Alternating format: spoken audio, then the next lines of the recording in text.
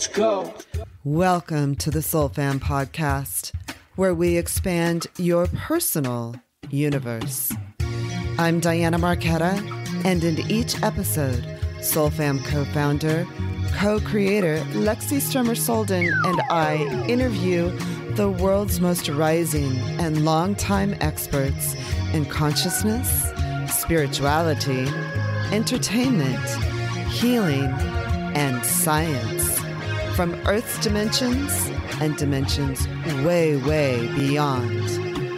On the Soul Fam podcast, our frequencies are high and your heart chakras will open as these powerful voices of today share cutting edge research, profound experiences, and valuable knowledge for your world in this out of this world, thought provoking, envelope pushing interviews that could only take place right here on the Soul Fam podcast.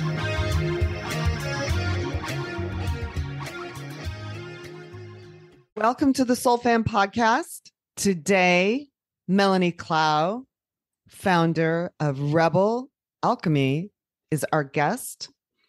Melanie is a therapeutic horseback riding instructor who received her certification in 2011 as an instructor and moved into holistic health coaching and energy work in 2015. Melanie, who is an equestrian, decided to put her love of therapy and horses together in an entirely new way. She integrates horses as teachers and healers to help people raise their emotional intelligence and empower them to transform their work and life through self mastery, deeper connection, and heightened intuition. Welcome, Melanie. Hi, thank you. How are you today? I'm doing pretty good. How about you? Um, we are, as Lexi said, just getting our way into Sagittarius season. Yep, it's a good uh, a good shift here. it's a great shift here. So Sagittarius, obviously mutable fire. Uh, the centaur, half human, half horse. Obviously, the archetype associated with Sagittarius. And we're just sort of briefly discussing um, that the most famous of the centaurs might be Chiron, who's known as the wounded healer. Something else interesting about Chiron is that we had Chiron retrograde in Aries for like five months or six months or something like that. And Chiron will be going direct, I believe, in about a month. So that's that's really interesting. So if you've done a lot of introspection um, over the past five months, starting at the end of December, it might be time to do something practical about your healing. So I thought maybe Melanie, you might have a lot of insight there. Yes, um, it's interesting that he is the wounded healer because most people that become healers, it starts from they themselves having whatever traumatic experiences or you know your wounds that you are trying to heal, and you learn so much more about just all the different ways to heal. Um, so yeah, I think it's good timing. so Melanie, could you share with us a little bit about what you do? Um, coincidentally, Melanie and I are both equestrians. I have a horse. She has two horses, which she whom she rescued. And um, I'm sure there's a story behind all of that. But I'd love to share with our listening audience exactly what you do and how you do it. Okay, so what I do is called um, equine facilitated learning and coaching. It pretty much just putting together working with horses and being able to use them as a mirror of your own energy. Um, a lot of us are very unaware of the energy that we're actually putting out into the world. You know, you probably go to work, you put a smile on your face, but in reality, you're just kind of like shooting daggers at all the people around you because you really don't like them or they made a weird comment. And so the horse really brings forward these hidden energies that we've just learned to push down and actually really be aware of them and in some cases heal from them and just be more authentic, you know, in the world, which just makes everyone more comfortable around you anyway. So, how is it that the horses actually sort of reflect us then? Are they sort of mirrors of ourselves then? Yeah, they can mirror the energy back to you. They can um, react strongly to the energy you're putting out. Um, I could give an example. I had one client come in. She didn't really know what she wanted to even get out of the healing. She just knew she was drawn to it. She actually rode horses and um, she, we talked for a while about her moving and changing jobs and blah, blah, blah. And so we're like, well, let's just see what the horses do in reaction to you. So we go in, start the session, and the horse I noticed started getting very pushy with her. And she just stood there and was fine with it. And I was like, Do you realize, you know, how strongly this horse is starting to, you know, just making me uncomfortable? and she immediately comes out with how her partner is upset that she allows people to get too physical with her when they go out. And, uh, and, you know, is a big issue in their relationship and so we got into that and if it wasn't for the horse we never would have got there you know because i i can't see what she's really hiding down in there. It's just what she on the surface wants to talk about.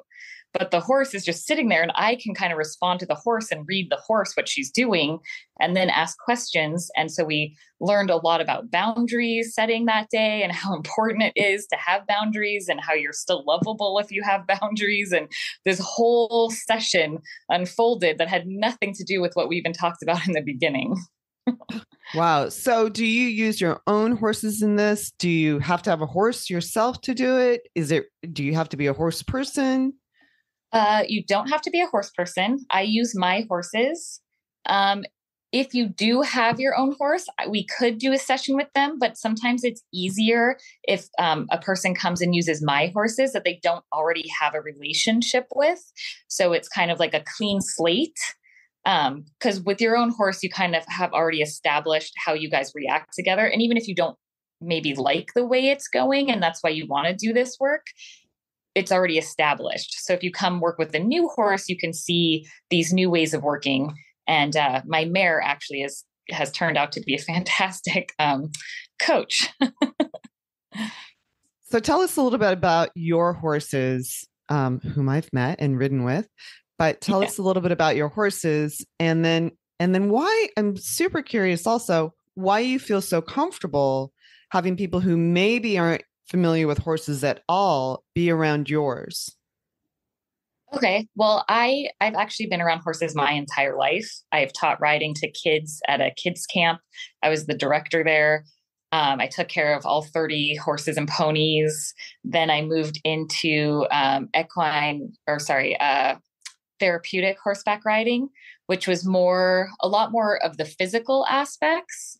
Um, so we had people, you know, with different health problems or kids that had autism or cerebral palsy and we used it to help with their walking and their talking and all that stuff so i did that for a long time and then i started uh, my holistic health journey which is a whole other thing with nutrition and yoga and energy work and while i did that i continued to work with a dressage trainer um, and then i started volunteering at a horse rescue and uh, that's where I worked with a bunch of horses that were in severe neglect situations.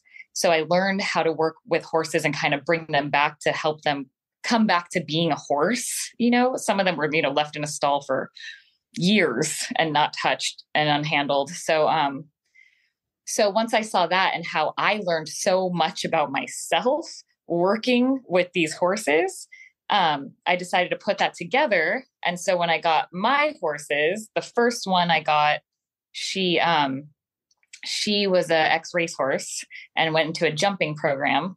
And she had really sore feet, but no one paid attention to that. They just every time she would act out, they treated her like she was bad, you know, and trying to punish her. And then she'd fight back, and then they'd put her away and give her treats. So then she got an attitude problem, and she was a mess when I got her. Her nickname was actually Kid Killer. wow.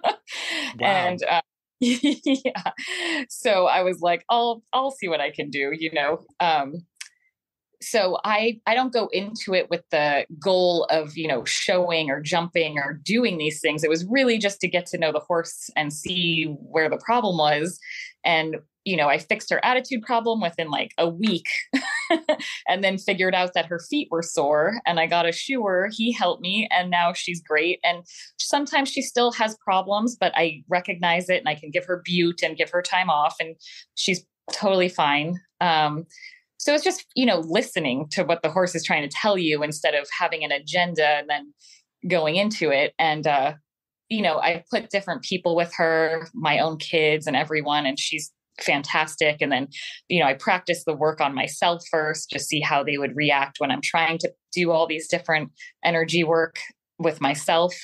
And she's just, she's so great. I'm picturing Robert Redford in The Horse Whisperer. I mean, that's i'm picturing like the slow gentle i mean is that is that accurate or is that i mean with your approach i mean you said it took you a week. I'm trying to figure out how it only took you a week and not you know 6 months. It sounds like there was a lot going on. Yeah, the whole training process takes a long time, but just to fix their attitude and establish respect can take a very short amount of time because it took, you know, however long for the kids to get scared of her and just put her away when she was bad for her to learn, oh, hey, that's all I have to do is buck a little and they'll put me away and give me treats. and then she would just, you know, pull the kids all over the place and go wherever she wanted because they didn't want to tell her no. So it was just really a matter of establishing the boundary. We call it, you know, your hula hoop space. Basically, they can do whatever they want outside of their hula hoop space. But if they want to be invited in, to be calm and relaxed, then they have to act calm and relaxed. So it's just kind of a give and take. There's a lot of um, round pen and groundwork that I think gets skipped over in a lot of um, horse training. Uh, that is so good to establish, you know, boundaries and who, you know, because a horse can freak out and they're huge and it's scary. But if you make it a point that they do it over there away from you, and then they can stop working and come hang out with you, then they're like, oh, all I have to do is be behave or be kind and calm, and I can just stand in the middle and not have to work. And so once you kind of get how they think, it's a little easier.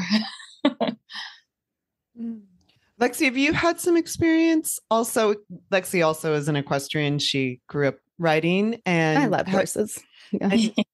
And, were there are there other experiences that you were mentioning previously about working with children? Well, I just know that um, horse equine therapy is really big, as you mentioned, in the sort of special needs community with mm-hmm. kids. Mm-hmm. And when I think a lot of funding in Los Angeles was cut maybe five or six years ago, and it was a huge deal because so many of um, just a huge portion of the autistic community amongst you know children in LA was is you know nonverbal. That doesn't mean obviously that you can't communicate, but having that relationship with the horse and having that continued support that was just a vital part of their ongoing therapies. So i just remember what a big deal it was when it looked like a lot of the equine therapy uh, funds were going to be cut. I think they've since righted that for the the people who absolutely vitally need it to keep going. But i know it's been so effective for so many kids and it's something that i would love my own kids to try um, they are freaked out by how big the horses are. Um, I have to I have to say I remember cleaning the back feet, you know, with the with the pick or whatever. And I was like, just be calm, just be calm. It's gonna be fine. And I do remember having my riding instructor telling me to just get off the horse one day. I was like, what? What's wrong? Is, is shaman getting spooked? That was the horse shaman. She's like, no, it's uh it's you. You're you're kind of all over the place today. You're all over the place and shaman is freaked out and this isn't gonna work. So you just need to get out, get off, go sit down. She still wasn't happy with how all over the place I was. And she's like, just you gotta come back next week. So then i mean even then i remember there being some sort of relationship between my energy and the horse's energy i remember my riding teacher identified it but i i still um i i didn't know exactly how it worked other than And it's like the reverse of what you were talking about, Melanie. If the horse is calm, then they can come into your circle. What my riding teacher did was okay, Lexi, if you're calm and not all over the place, shaman will let you into his circle and you can ride. Yeah. And that makes a lot of sense because they're herd animals. So that's how they relate to each other. And that's their rules for each other as well. So, you know, you'll get a young a young guy coming in and kind of, you know, picking on everyone or seeing who he can get a reaction out of. And then the elders of the herd, you know, kick him out basically and say, no, that is not acceptable. We're over here grazing, which is what we do. And you can go be, you know, your crazy self over there. And then when he's ready, he can come back and they, you know, have different signals they give each other, like, okay, you can come back and join the group now. And that's how they, that's how they learn. what are the signals? Uh, there's various signals, but a lot have to do with um, showing like the side of themselves. That's the most vulnerable part of the horse is down their side, you know, because in the front and the back, they can kick, they can bite, they can do all those things. So their vulnerable side is on the side of them. And so when they say, okay, you can come in, they'll usually uh, turn their side to you or kind of turn away. So if you ever did any round pen work and you turn away from the horse and that tells them it's okay to come in, that's the same kind of signal. You're saying, okay, I don't have to keep my eye on you and possibly kick you. I can turn away. And now that means, okay, you can come in. They also do a lot of signals with their ears. You can tell where their focus is by where their ears are pointing. Um, if they have to get too extreme, you know, that's when the teeth come out and maybe some kicks or some stomps come in. Uh, so you don't want them to do that with you, but that's why we usually use like a lunge line to keep them kind of away from your space until you can trust them and know that they can come in. And then on the other side of that, what would be considered aggressive behavior from a human where you may not even know you're doing it, like making direct eye contact or like what would a human do maybe, you know, accidentally that could be considered aggressive behavior for a horse. Yeah. I mean, to a horse. Yeah. So some of it, it could be completely internal. It could be how you hold your posture, could be kind of tight and rigid. Maybe you're trying to make yourself look bigger and you don't realize it. You could even feel totally normal to yourself, but they can just read your energy um, and they will turn away from you or react towards you. Um, a lot of people don't realize they have aggressive energy, and horses can pick that up without even needing to see your body language. That helps. Body language helps, but they don't even need to see that. They are have such a strong ability to sense the energy that you're putting out that they know what's going on internally but it's it's how they survive right so if they're in a field and let's say there's a mountain lion coming and he's on the hunt he's hungry without even looking at him, they just sense the energy changes in that field. And then they look, and if they see him and he's kind of crouching, ready to go, they all run. On the other hand, if they're in the field, they sense the mountain lion, but his energy's calm. He just went and ate, you know, a deer or something. He's full. He's not looking for anyone to eat. All the horses stay where they are. They can totally read that he's not in the mood to hunt. So, what were you telling me earlier about a horse's heart and the horse's electromagnetic field? Mm-hmm. Is, is, that related to their sense of reading your energy? Yes. So, um, a lot of you that are into energy work probably know about our energetic field, and it's kind of based around our heart center. Horses' hearts are huge. I'm not, I don't remember exactly how big, but maybe 10 times the size of our heart at least. And so that means their electromagnetic field is 10 times the size of them.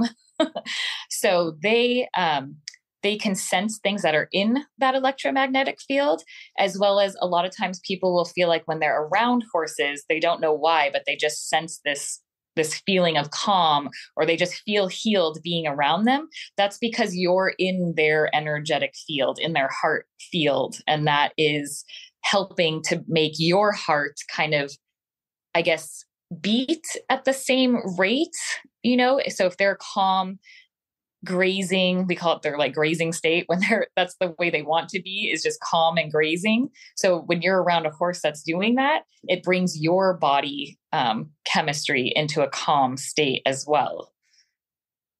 Hmm.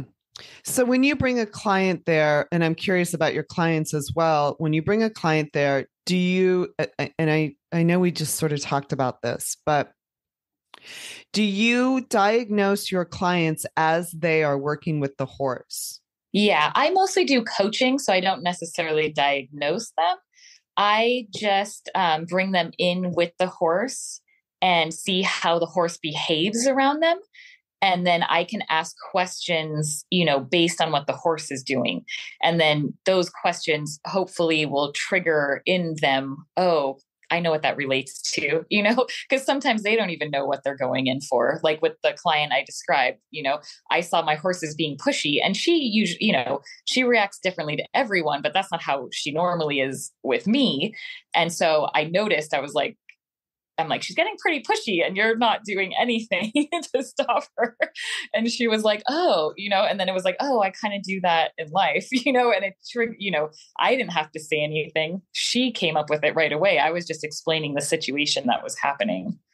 Mm, so that's really interesting. Yeah. So, what have been the results? Um, uh, you know, you've described one client. Um, I'm just curious what some other challenges are that clients have brought to you, or what some other challenges are that have kind of come up as you're working with your horses, with your clients.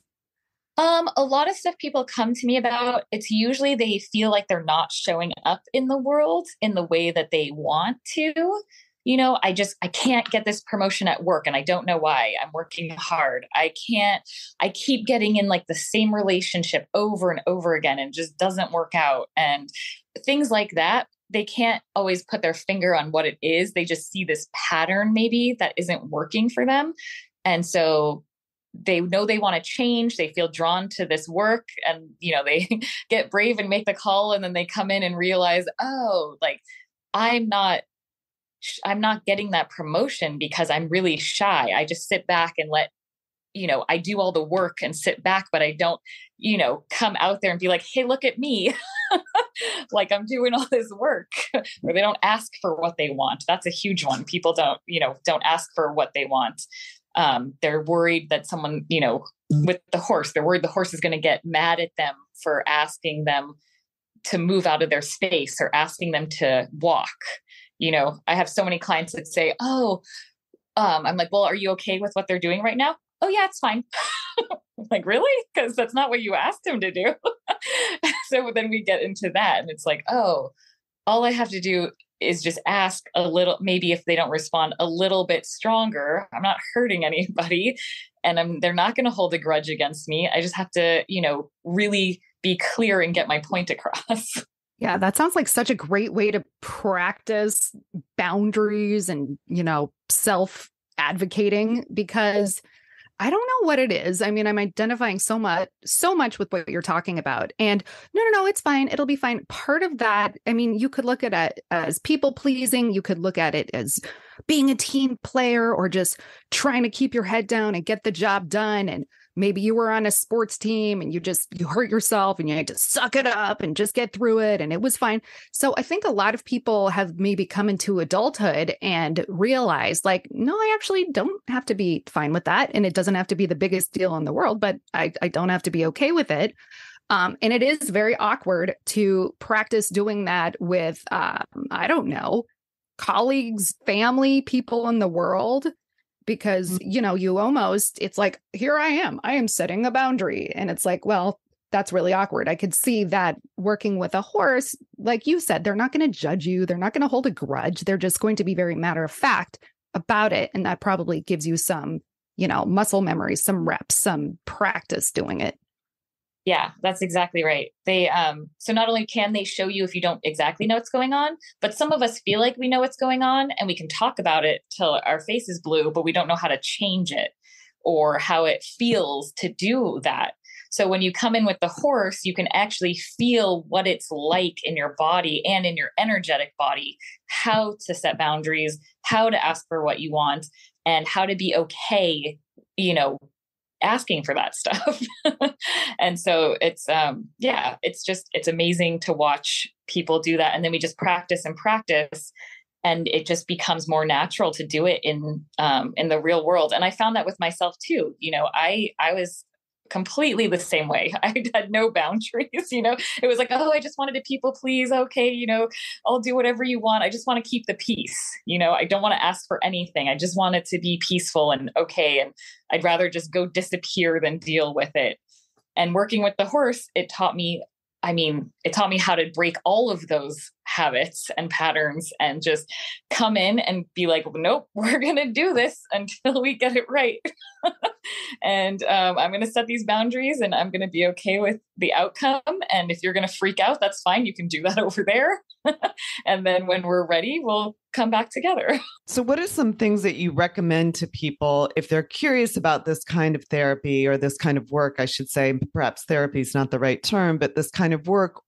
What would you suggest that they do? Should they um because I, I bet people are pretty curious about how to go about this and how to reach you. Yeah so um if they just want to learn about stuff there's lots of books out there. That's how i got started actually um and this part you know because i was doing all the holistic work i was doing the horse work and i was like there has to be a way to connect it and then i found books where people were doing that and so for me, um, I now offer different programs that you can do, um, different lengths of time, depending if you want to just come in and get your feet wet, or if you want to do like a full half day session and really like get through some things.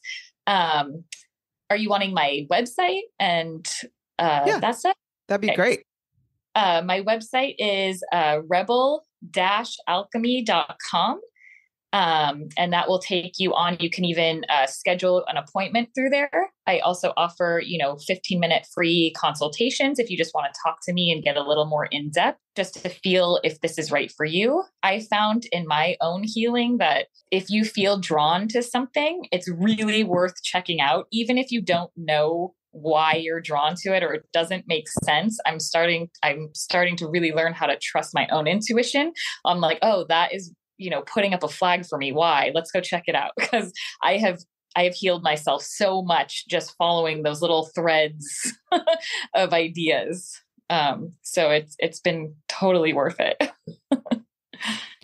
And could you tell us just a quickly a little story about your horses and how you came to rescue them and why you felt I'm curious if you felt intuitively that your horses could assist you in your journey as well as other people's. Yeah, actually when I first got my my first horse, uh, I just wanted a horse and I wanted to rescue her, uh, one because, you know, after I did worked at the volunteering for the horse rescue, I was like, I'm not going to buy a horse. I want to save, you know, help wherever I can. So, um, I went and saw a bunch of different horses and people wanted, you know, different prices and they had different training and and uh, I found her and she was the worst one. she was just a mess, you know, kid killer, right? So um, I was like, she's the one. I just intuitively was like, everyone was like, why would you get that one? and so I was like, but she's the one. And so I got her. And then um, I started doing this work actually a year later. Um, specifically with the horses and the coaching. And um, just as I've done it, I've realized like this is why I intuitively just knew that I had to have her, you know, because it's it's been a struggle here and there. He, she has issues and we've worked through them and I love her to death. But now I can see like this is why I was so attracted to her because she's so good at this. And then my gelding that I have, I actually had another gelding before rescued off of, you know, he was going to go be on a meat truck and uh, uh, then he ended up in someone's backyard and he was kind of neglected. And so i got him and um, he had a lot of issues. We worked through you know same thing. He would rear all the time. Um, so we got through that. And then uh, he just had a lot of health issues. So i ended up rehoming him. He found a home as a companion horse.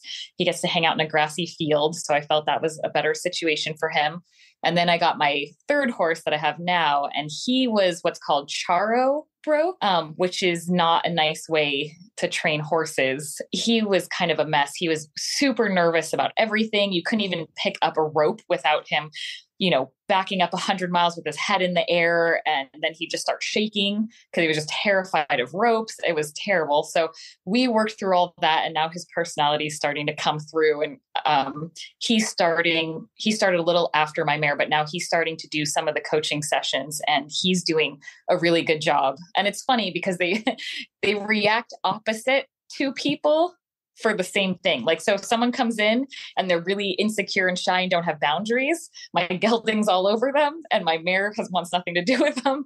And if they come in and they're like confident, know what they're doing, my mare's all over them and my gelding wants nothing to do with them. It's pretty interesting. wow. They really are truth tellers. They are 100%. Interesting. So, Melanie, tell us some more about. I'm super curious how you got to this and um, your holistic healing journey, because I, I think I find also that when we share ourselves with others, they can relate to it. So, I'm curious how your holistic healing journey kind of started and then and then grew to become part of the horse world as well. Okay, you don't so, mind me asking. no, not at all. So, um, obviously healing is a huge journey. So mine started a long time ago and it's kind of like aha moments, I guess. Uh, I did a cleanse with my friend uh, when we lived together probably 15 years ago and just realized how important organic food was and how important it was to, you know, put good things into your body instead of just eating whatever. So that was my first kind of aha moment. Then I went through a sort of uh, traumatic relationship experience. And from that, I ended up getting really physically sick. Um, so it took a while for me to realize it, but I just started getting sicker and sicker. I kept going to doctors, you know, saying there's something wrong. I had acid reflux for like no reason. So they gave me pills uh, you know, there's no reason why. It's just, oh, just acid reflux. And then, you know, I was having bowel issues and hormone issues. And it would all seem like it was, you know, snowballing and getting worse and worse. And every time I'd go back and get uh, blood tests and whatever else, they would say, oh, you're fine. You know, you're still within range. Um, and so I was like, I know I'm getting sicker. And I could look, you know, because I had three blood tests over six years because I kept telling them to do it. And they, uh, I could see on some of them, I didn't know what they meant because, you know, I'm, I'm not a doctor. I didn't know what it meant, but there were some that started, you know, in the top of the range and then we're now in the bottom of the range over six years. And I was like, well, what are those? And they're like, but they're in range. So that means you're fine. So I started turning to more holistic uh, medicine. And that's when I got into yoga for exercise and for stress. Um, I was working on the mind body connection and trying to heal that way. And it wasn't until I found a holistic, not a holistic, a um, functional medicine practitioner. So it's more Eastern medicine ideas. And they did tests and you know said i was in stage 3 adrenal fatigue i had picked up the stomach bacteria that was keeping me from digesting nutrients which is why my body was failing because i wasn't getting any nutrients um, and so it took probably like a year and a half to come back from that. Um, and meanwhile, I was still doing the physical part, but I never really got into much of the spiritual part. And I still wasn't healing enough. and so I finally got into the spiritual part. I do a shamanic journey work now. Um, and it just opened up this whole new part of you have to heal your mind, your body, and your spirit. And sure, you could do spiritual work and you could end up seeing a physical healing from it. Um, but as they say it in your energy body, when something traumatic happens, it might be like a black spot in your energy body. And then if it doesn't get taken care of or removed, it starts to manifest itself as disease in your body. And so a lot of times we just start to heal the body or the mind. It could also be in the mind. So we start to heal the body or the mind or the body and the mind, but we never took care of that original black spot in the spiritual body. So you can never fully heal. So I now do all of those things and um, I'm getting much healthier and feeling really good. And I've just I've noticed a ton of shift in patterns, and um, it's just been it's been amazing to see uh, how the three work together. And um, and that I guess the most important thing I learned is that there's no quick fix. You know everyone wants to get a pill or do that one exercise that makes you thin or do it, it, that is not at all how it is. You have to do you know your meditation practice or maybe a grateful practice in the morning. You have to eat healthy and treat your body like a temple and put good things into your body you know? And you have same thing with your mind. You have to put good things into your mind. You can't dwell or focus on the bad in the world. You have to realize that you can you know change yourself and your patterns in your life and you'll start to attract those similar energies. And although there's still things you don't like in the world or around you you know how to create this inner landscape of peace and you can move into that and not manifest disease in yourself so yeah. how how did horses come? Sorry, Lexi. How did the oh. horses come to be part of all that? Um, so during that whole time, you know, I, I worked with horses my whole life, and throughout that whole process, I've been working with them, and I I just think um, seeing their spirituality and their healing and everything, also being able to practice um, how I show up in the world with them and um, not being judged by them. I also can just go hang out with them and, you know, meditate with them for a while and they'll just provide me with all that healing space. Um, so I think what I want uh, to share with people is being able to experience the whole spectrum of mind, body, spirit healing and be able to practice it in the world with horses um, and just see you know how you can show up differently and how you can bring more peace into your life and how great it really feels Very I think cool. it makes a lot of sense. Yeah. And all I was going to say is, I, I, mean, just as a student of Hermeticism, like, oh, yeah, like as within, so without, as above, so below. You work on yourself and you start to see changes in the real world. And no, it's not overnight, but little by little, you start to see the results of some of the work that you're doing. And when I was thinking of, for me, what would be the connection to horses, it sort of led me to the idea of just nature in general and how plugging into that life force, even if you're just laying on the grass somewhere or watching the horses graze or staring at a flower, um, no, it's not going to fix everything, but allowing yourself to be part of the whole of that sort of nature and its great beating heart and every part of it, you can't. This is a double negative. You can't not heal there's right. there's something that's going to propel you forward in your healing simply by participating in life.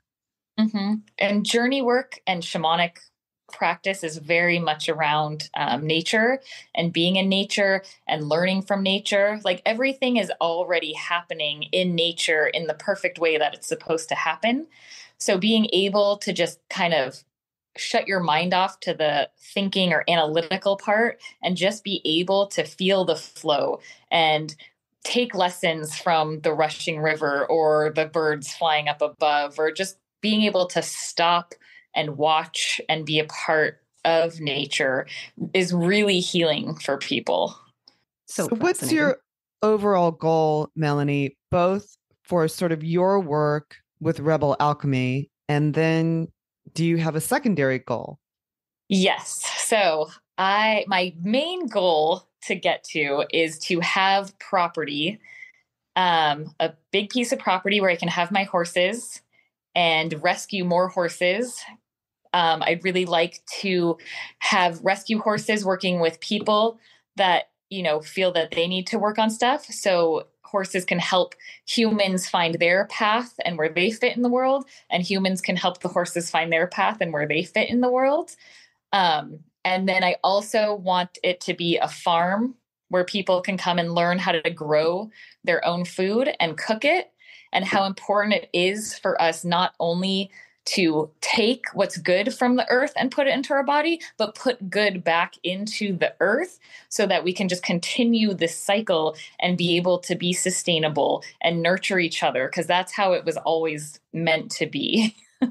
so with the composting, I actually volunteer at a farm right now because that's the next uh, step that I want to do is the farming part.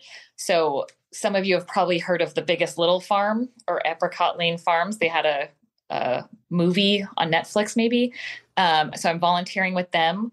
They're fully biodynamic, which means they uh, put what is it? They take like their scraps and put it into compost. They put the compost back into the earth and then they take the produce from that. There's animals involved. It's called a closed system.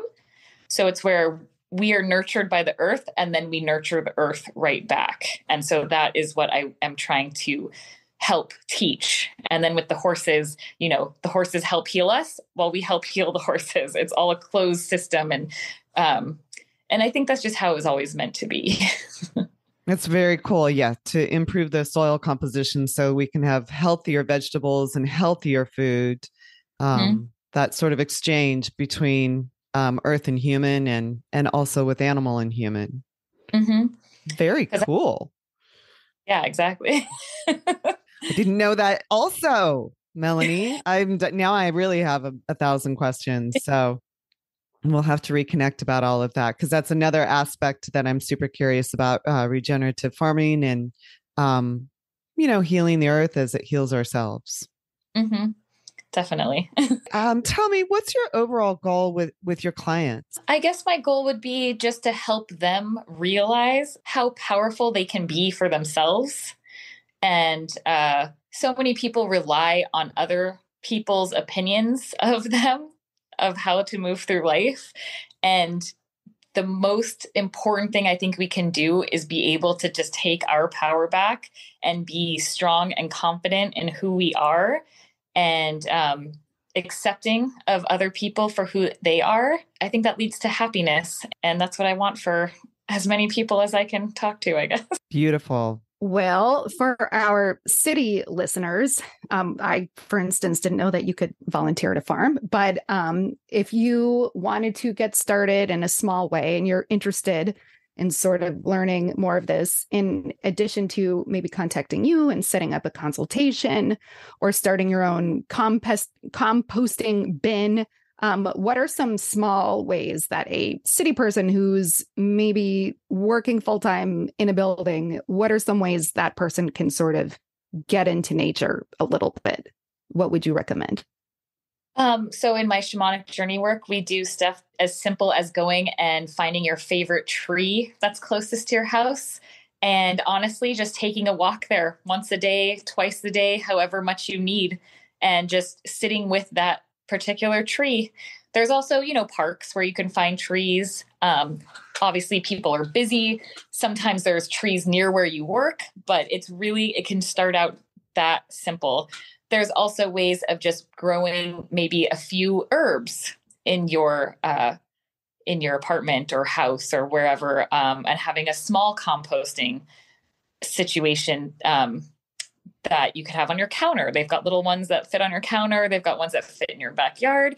And in just that small way, you can already start to increase the nutrients that go into, let's say, your parsley or your basil that you use in some of your meals. Um, it doesn't have to be huge scale, you know, not everyone can do that. But in little ways, you'll start to notice, um, you'll feel a difference. Because um, we absorb you know everything that's around us not just food not just what we put on ourselves. We absorb the television shows that we watch. We absorb the posters that we see the youtube videos that we see. Um, so if we make a conscious effort to change those things to align with where we want to go or how we want to be in the world then you're going to notice huge shifts just from changing your environment. So true. Lexi you have a favorite tree Thank right? Thank you. I do, of course. I have lots of favorite trees. Yes, it's hard to pick one, but usually the closest one, the easiest one to get to, you know, if you don't have a lot of time.